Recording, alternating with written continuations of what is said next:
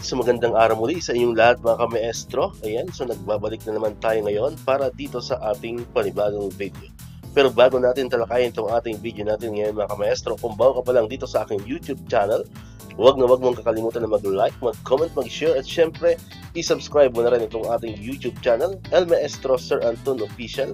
Ulitin ko po, pakisearch lamang sa inyong mga Google, sa inyong mga browser, sa inyong mga YouTube, ng El Maestro Sir Anton Official at lalabas na po itong ating channel. Pakiclick lamang po ang subscribe button dyan kasi libre lang naman po yan, wala pong bayad yan. And syempre, ang notification bell button, pakiclick na rin po para manonotify kayo. Always updated kayo every time na may mga bago tayong upload na video katulad nito. Alright, so nabanggit ko na kanina ka maestro, meron tayo ngayong panibagong video.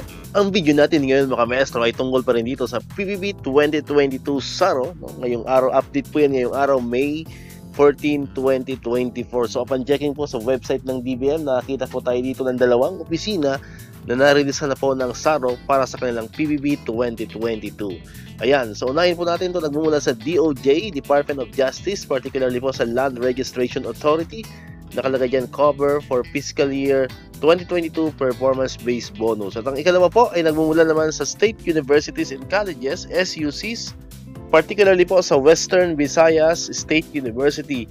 Yan nakalagay dyan for fiscal year 2022 performance-based bonus of 1,658 eligible personnel in the West Visayas State University. Alright, so so far po, yan lamang po yung nakita natin na dalawang opisina na mayroon na pong SARO for PBB 2022.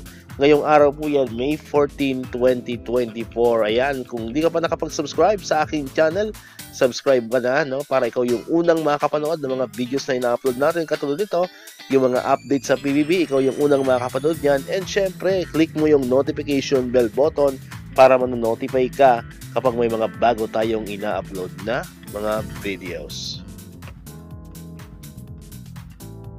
So muli, maraming maraming salamat sa inyong panonood at pakikinig. Once again, El Maestro, see you on my next vlog. Bye-bye!